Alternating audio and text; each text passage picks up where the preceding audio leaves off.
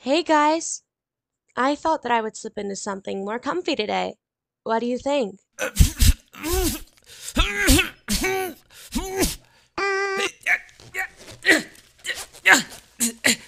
Is he okay? Are you good still? Ah!